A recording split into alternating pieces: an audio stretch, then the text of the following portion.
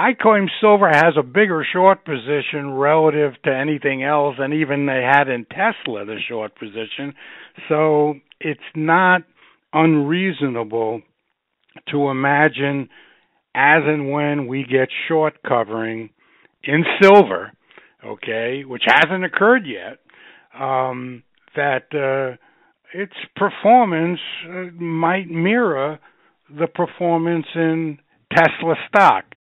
I'm, you know, just about certain uh, that there's going to be some kind of um, failure uh, on the big shorts uh, part in, in silver.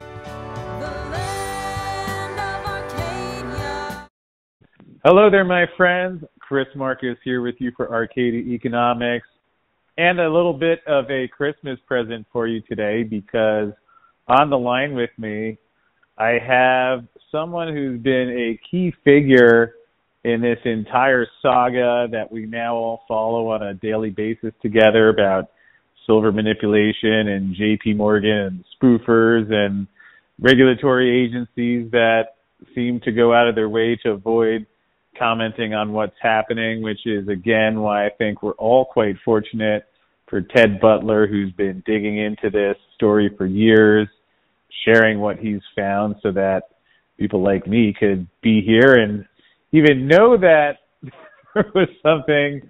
I don't know, Ted. Maybe I would have figured something out eventually because I think whether one way or another, people look at the price of silver, they look at what's happening in the world, it doesn't make sense, and you've been one of the leaders in explaining that. So, welcome on in here today. It's great to catch up with you again. And how are you doing? Good, Chris. Thanks for that uh, that welcome. Uh, doing just fine. Yeah, well, uh, it was nice uh, to see you at Silverfest, where I think the interest for silver was growing, and then geez, it's already a couple months later. A lot has happened since then. Although I was thinking it might be fun to start in reverse today, and we'll get into some of the things and the details that are happening. But in terms of how this plays out in the end, do you think we're headed to some sort of failure eventually? And if so, what is it? What do you think happens after that goes down? Uh, well, yeah. To to answer the question, I, I, I'm you know just about certain uh, that there's going to be some kind of um, failure uh, on the big shorts uh, part in, silver. The only thing you can't, excuse me, be uh, presumptuous enough to uh, proclaim is, you know, when is it going to happen? Is it going to happen? Uh, is it going to happen now? Is it going to happen, you know, this week, this month, uh, in, in, in the relative near future? You, you know, just you have to be a little bit circumspect, and, and no one can know, you know, exactly when when things are going to happen. People aren't or aren't prophets, You you try and be analytical and consider things as uh, as best you can. So you don't want to put a time specific time on it, but this has been going on for a long time, as you know.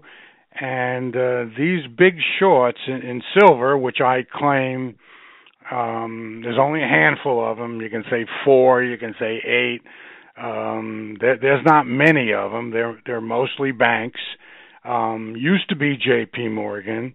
Uh, it's not J.P. Morgan anymore who's short, from from what I can see. I think they passed the hot potato on to these uh, other, uh, call them unsuspecting uh, shorts that uh, they're now, you know, uh, on on the firing line, and um, at some point, I, I, you know, a short position is a is an open transaction that has to be closed out at some point, either by physical delivery or by the purchase, the buyback of the the short contract, and uh, one of those t- uh, two things has to happen eventually.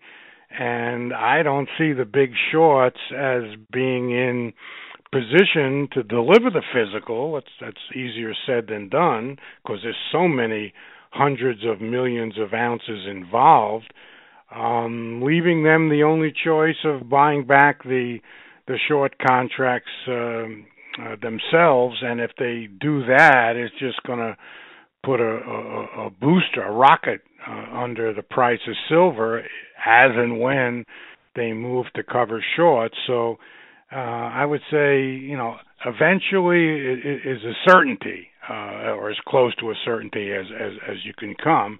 Um, the timing, I think it's close. I mean, it's uh, these guys are have never been, you know, basically more short than they are now. They don't have the big protector at this moment in JP Morgan.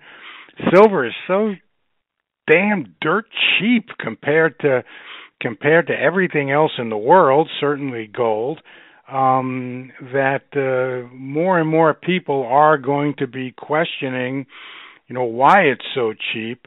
And if they look not too deep, just deep enough to try and uncover why the price of silver is and has been so cheap, and they focus on this uh, short position, uh, light bulbs should be going off in, in investors' heads around the world. Um, what a what a bargain! What a almost sure thing silver is because of this short position. Um, so that I think that day is is coming close. I mean, the the, the best example I can give you is uh, currently is uh, what happened in the last year, year and a half with Tesla stock, the uh, the, the the the the electric uh, vehicle battery company. Um, that stock is now up so much; it's like over around six hundred billion dollars market cap. Uh, it's worth more than all the major automobile manufacturers combined, that's Ford, General Motors, BMW, Volkswagen, Toyota, Honda. It's like add all the value of all those auto stocks up and Tesla equals equals the cumulative total. How how did this come about? How did Tesla get to be so call it overvalued, even though it might go a lot higher, but it's certainly overvalued compared to every other automobile company out there. And the short answer is is that there was there's been tremendous short covering in Tesla stock for the last year, year and a half. And that's what's propelled the price so much higher. It hasn't been earnings, it hasn't been uh, any anything that you would think that comes to mind. It's been strictly a a short covering experience in in Tesla stock, driven the the price of the stock up like twenty fold in, in in a year year and a half. Um, I claim silver has a bigger short position relative to anything else, and even they had in Tesla the short position. So it's not unreasonable to imagine as and when we get short covering in silver, okay, which hasn't occurred yet, um, that uh, its performance uh, might mirror the performance in Tesla stock, going up many fold in price, which is, you know, a simple mechanical thing. Ted, that sure is fun to think about Tesla mirroring or silver mirroring Tesla stock. I think there's a few few thousand people around the world listening to this that would be happy with that one. And it's interesting because I remember one time we talked, uh, maybe a year or so ago, and I asked you, is there a similar comp? You had mentioned uh, a potato failure and also, I was listening to one of those Market Wizards books, and they were one of the traders was talking about what happened when plywood was still back on price controls, and I guess the government was fixing it to I think it was $110 per whatever unit plywood comes in. But the guy saw it trading over and traded over a couple of days, and he noticed, well, if it trades over a little bit, then it can go a lot. I think it ended up going to two hundred dollars or something. Are you familiar with either, uh, perhaps either those situations and the the mechanics of how they unraveled, and perhaps if that's also similar to what we could see unfold?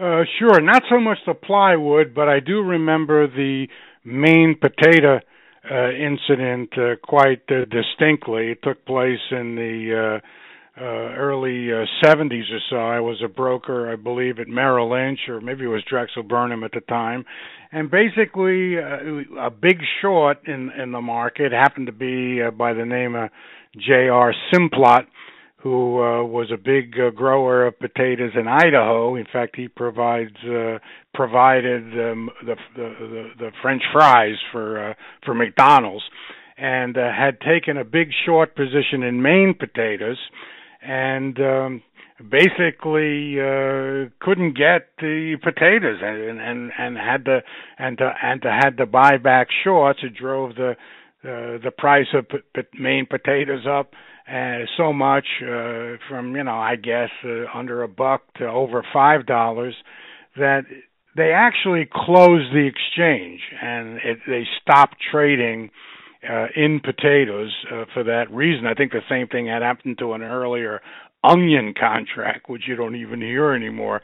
But um, so it can have um, you know uh, disastrous results, extreme results when somebody goes short a large quantity of anything and doesn't have the wherewithal to either deliver the merchandise in the case of uh, potatoes the Maine Maine Maine potatoes that they they grow up in northern Maine or in the case of Tesla stock where they uh, couldn't obviously didn't have the the stock to deliver. They had to buy back the shares. Um, in the metals, we've had a recent example the last several years or so of this very thing happening in palladium. Uh, palladium used to have about five years or so ago. Don't hold me to the date.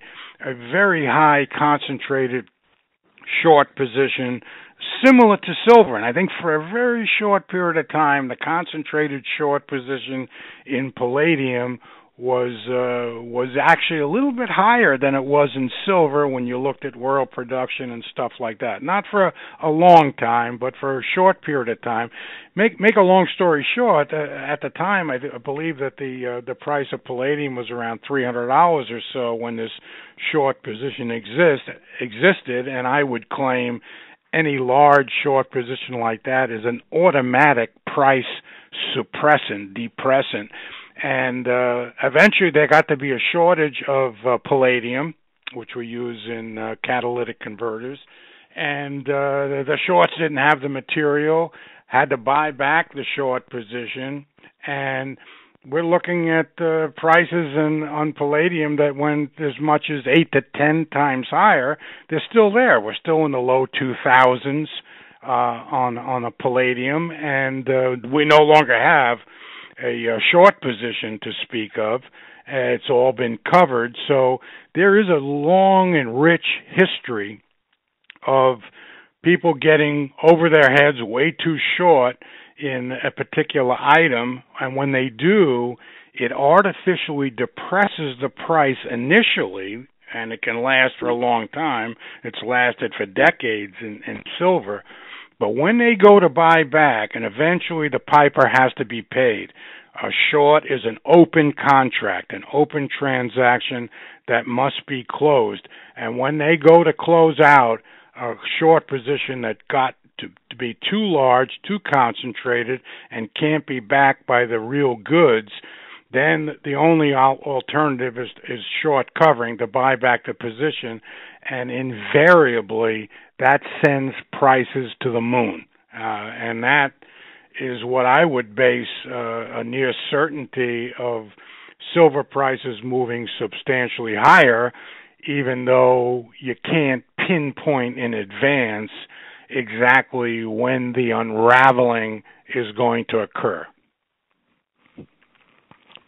Yeah, and Ted, isn't isn't that basically what happened leading I mean in the sixties where you have LBJ take the silver out of the coins leading up to the London gold pool, which uh, because I know you get these questions. I get them every day, and I understand that for what we do, that's part of our responsibility for people who are saying they're tired of hearing about manipulation. Is it ever going to end? How long does it take?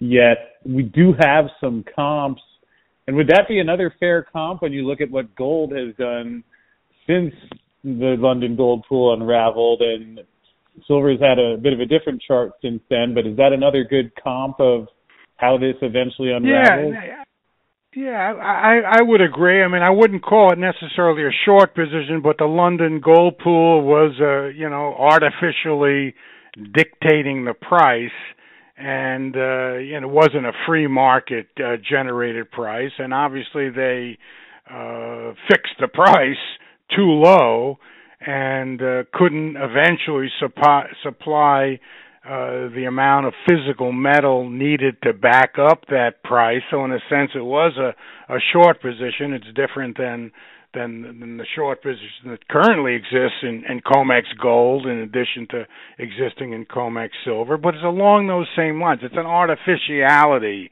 And whenever you mess, it's like messing with uh, Mother Nature. You start putting in uh, prices that that that are not free market generated and you're eventually going to have problems. You're either going to run out of material, or if you, if you fix it too high, the price, you'll have we end up with way too much material.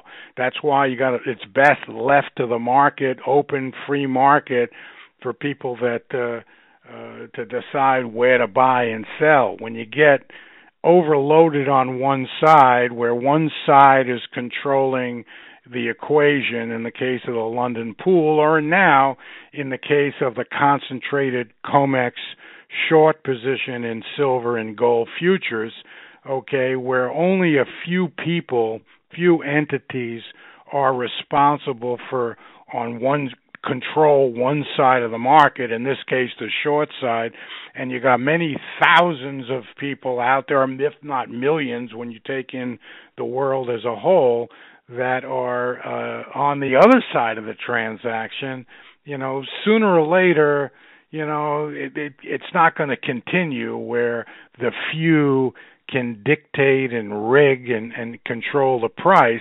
Now they've done it for an awful long time in both uh, gold and silver, um, but there uh, stretches, long stretches of time. But when you when when it breaks, when it when it gets relieved, or when the con, when the concentration gets broken, you have this shoot up in price. We've seen that over the years. Uh, you know, silver 50 years ago, you know, was a dollar an ounce or something like that.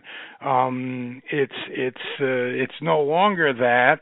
Um, I claim it's still you know ultra depressed in price because of this documented concentrated short position. We got four traders, four banks on the COMEX that are short 300 million ounces.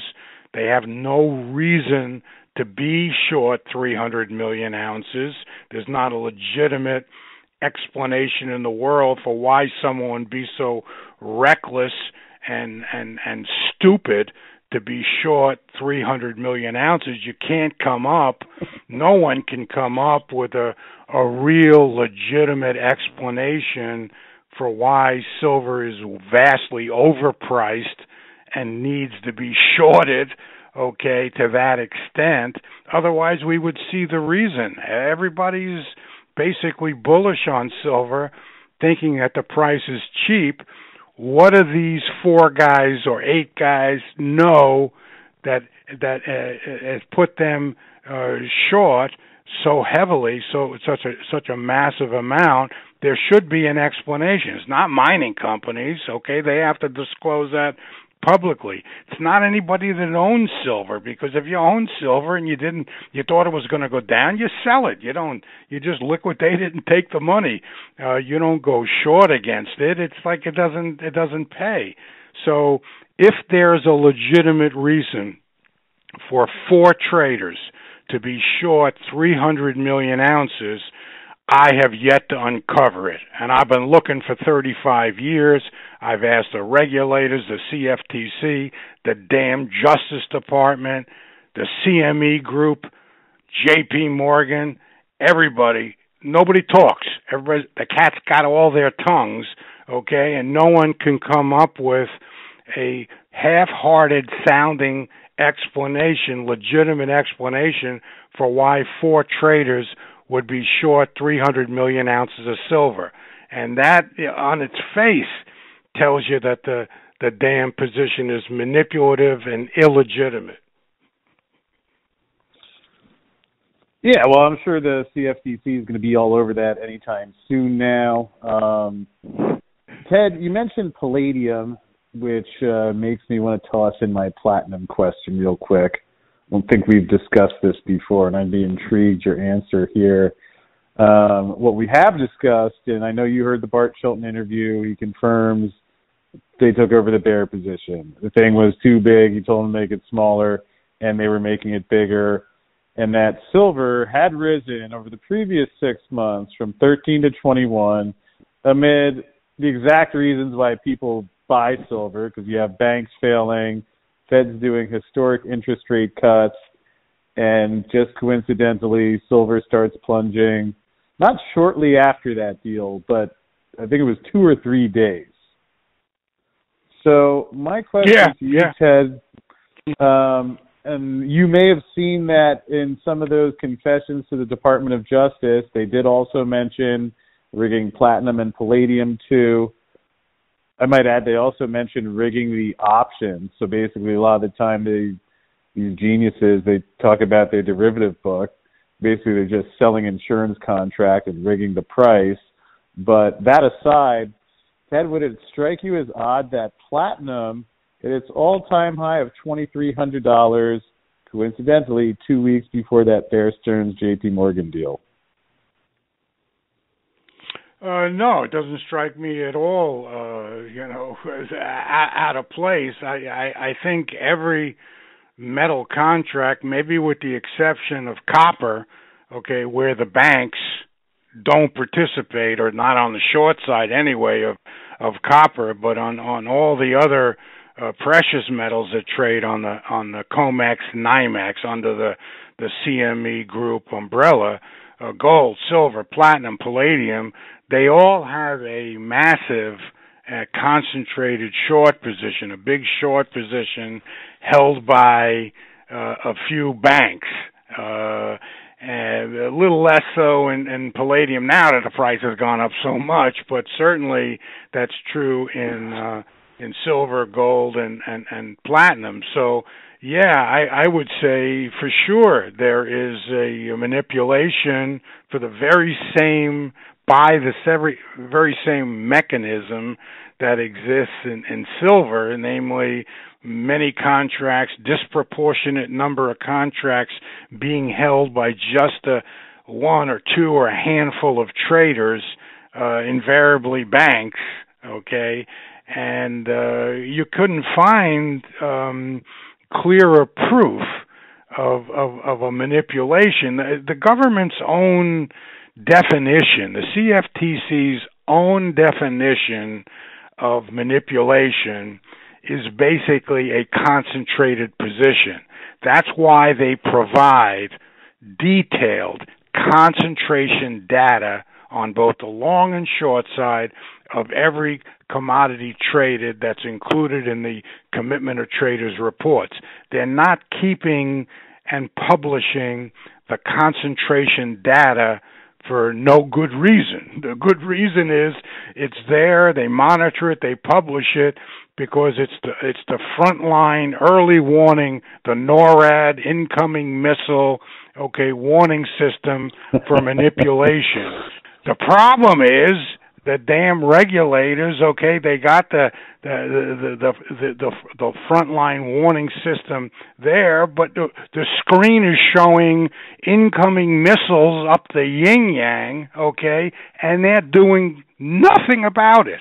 That's the crazy thing about it. They they're the ones that I didn't invent the term concentration. I got it off from the CFTC in their own data, in their own commitment of traders data, every long form report on any commodity that the CFTC publishes has concentration data. It's, it's there for a reason. The problem is these guys are so twisted, uh, these regulators, they've forgotten, you know, what it's there for. And they don't they won't certainly won't answer questions about it. They did a, a number of years ago, back in 2004 and in 2008. they put out these 15 page letters separately that uh, public letters that tried to explain the situation away it was uh, as clear as mud and they and they and they didn't even they didn't even acknowledge that that Bear Stearns had gone out of business because it was the largest concentrated short in in gold and silver but since then they've like uh, clammed up. They they don't want to address this situation. You know, you can be you know put be an ostrich and put your head in the sand for so long, but now it's like ridiculous. You got these glaring concentration on the short side. Certainly, silver leads the the pack. Then comes platinum. Then comes gold. So yeah, you're you're making a very good observation with those three metals there there is a concentration up the yin yang okay on the short side there's no big concentration on the on the long side and the CFTC won't do anything about it.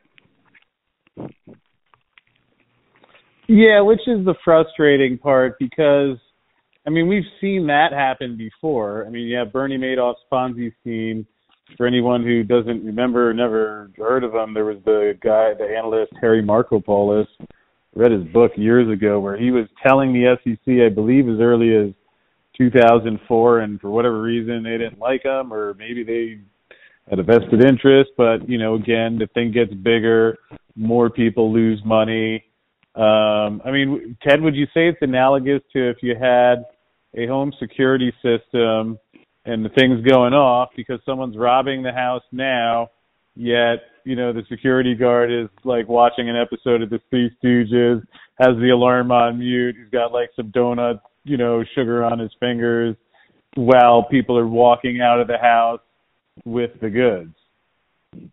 Exactly. In fact, I, I remember writing a, a, an article uh, many years ago. Uh, I think titled something like uh, 911. With the problem being, it's like calling uh, 911 and uh, there's nobody pick up the phone. It's like uh, you, you dial 911 to the the CFTC about concentration and manipulation, and uh, it's like the Keystone Cops. So yeah, it's a, it's like a perfect example of what you used. Okay, now, Ted, I'm going to ask you an unfair, completely trick question, but maybe you'll be a good sport and indulge me. But maybe there's no answer to this, but does it does it seem odd that now even you had this $920 million fine, yet still even have the criminal, you know, Department of Justice saying they're a criminal enterprise, yet we still see the same exact thing happen repeatedly. I mean, weekly, sometimes almost daily. Ab- absolutely. Uh, well, I mean, it, it was like clear from the start when they first announced this uh, investigation, the first guilty plea uh, a couple of years back. Um, it was they laid out the the, the case, the, the Justice Department, and it uh, was all concerning spoofing, which is very short-term trading. It's like you put in an order and uh, you immediately cancel it, and that constitutes a uh, you know a violation of commodity law, which is all well and good, and I don't think they should allow spoofing, but by sticking to spoofing as that was the end all and be all for the the manipulation of prices that's going on in in gold and silver and other markets okay? That was nuts. I mean it wasn't spoof spoofing was one of many tools that these bank crooks use to, to manipulate the price but by the you know the the, the Justice Department CFTC uh, sticking exclusively, putting the blinders on, and sticking exclusively to spoofing and pretending not to notice the bigger manipulation that's out there, the concentrated short position, okay, was such a disservice that you knew that if they stuck to just spoofing, that JP Morgan was going to skate out of this unharmed, and that's exactly what they did. Had the Justice Department and the CFTC uh, dare address the major issue, the concentrated shorting by JP Morgan for more than eight or nine years, in which it depressed prices, turned around and bought a billion ounces of silver and 25 million ounces of gold at a minimum at the depressed prices it itself created with their paper short sales okay? If they'd open their eyes and and check into that they would see that this is much bigger than this settle this this phony settlement that they came up with with JP Morgan. But let's face it, we got to be realistic here.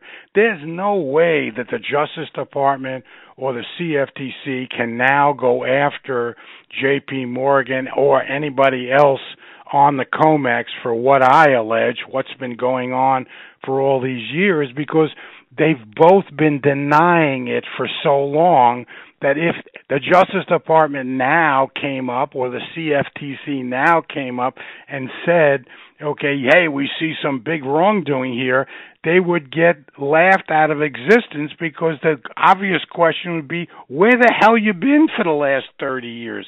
Okay, why didn't you see it sooner?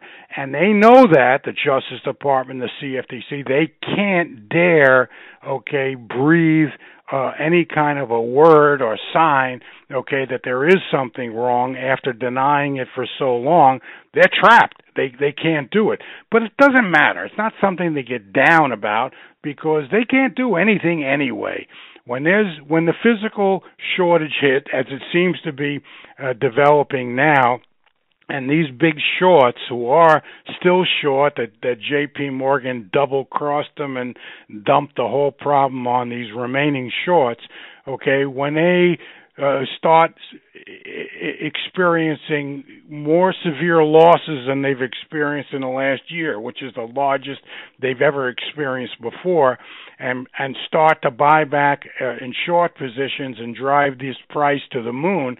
Um, What's the CFTC going to do, or the Justice Department going to do? Here? They can't come in. They're not going to go short uh, in their place.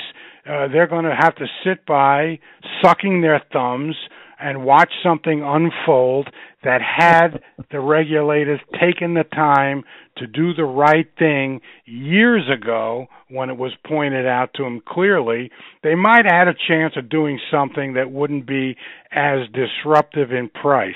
Now it's too far gone. The, the CFTC and the Justice Department are just useless. They're they're not gonna they're not gonna participate. I don't think in this in any way. They're not going to come in and and and save the silver and gold investor or anything like that, or straighten anything out. It that, we don't need them though. It's like it's so far gone. It's uh, we're going to leave it up to the free market. And if these guys who are short these massive quantities of gold and silver and platinum okay can can figure out you know a way of, of turning uh you know water into silver or uh, lead into gold, then good luck. Let let them do it. I don't think they they stand a chance. When they start to panic uh, in earnest and and buy back, no one can say. Okay, I think it's soon, but I always think it's soon. It's so lopsided and so egregious that it should have happened long ago uh, when it happens, it happens, but it looks for sure it has to happen at some point. Well, I appreciate that. Although Ted, if you could keep it down a little bit there, um, I think it is nap time at the CFTC right now, so we do there not want to be too too loud. Um, last one I have for you. You talk at Silverfest about the turnover on the COMEX, how metals being shifted in and out of various warehouses. Any update? Uh, anything additional that's been happening a changed since then, or how's that looking right now? Uh, it ha- it's cooled off a bit. It hasn't disappeared. Silver, silver still has the silver warehouse movement is still, you know, unprecedented, larger than than any other uh, uh, commodity. But uh, it, it happens to be taking, I guess, a back seat now to uh, developments uh, on the paper market. Where you know, whereas uh, J.P. Morgan's kind of slipped out the back and uh, left the uh, the other big shorts holding the bag, and uh, you know we got all this uh, demand for uh, for for physical silver on both a wholesale retail basis. It's like other things are coming in to overshadow it. I still maintain, of course, that for the last nine years, this unusual physical turnover of silver in the COMEX warehouses, which is still occurring at, at, at a rate not seen in any other commodity, um, is a strong indication of wholesale physical demand. Uh, but what's holding it back, and I and I the price back, what uh, is, is still these these few shorts that are, I think, hanging on by by their fingertips on a on a window ledge um, and not to let go, okay, because the minute they stop selling, uh, adding short positions, the price is uh, is is going to go up, and if they turn around and try and buy back their short positions, they're going to meet the same fate that every overly short uh, entity has ever met throughout history. Prices will explode when these guys uh, start to run for cover, which it looks like they're going to have to do uh, at some point. Well, may we both have large call option positions on whenever that does finally go down. Ted, can't thank you enough for the call as always today. Before we wrap up, can you let folks know, and for anyone who may be finding out about this first time, um, fortunately, Ted's been kind enough to explain and write this all in a newsletter twice a week. So if you're sitting there hearing this and thinking, gee, this sounds quite intriguing and like a useful thing to know before it imploded, similar to the folks who understood that mortgages had to come down. I think it's a very analogous situation that Ted, fortunately, you keep us up to date with. Can you let folks know where they can find the newsletter? Sure. Just you know, go to Google or regular search on the internet and type in uh, uh, butlerresearch.com, and uh, you'll you'll come to the the website. There's there's plenty of free articles if you want to uh, try a, a subscription for for a month or so. It, it's often on that basis, and you know there's a couple of uh, articles per week, uh, so you'll you'll be able to catch up pretty quick. Well, it's one of my favorites. Ted, you're one of my favorites in the silver world. I know there's a lot of people out there who are really grateful for all that you do and stand for. So thanks again for giving us an update. Happy holidays and yeah, hopefully we'll see uh, some numbers bigger than a five in front of that silver price in 2021. Sounds great. Look forward to it. Take care, Chris.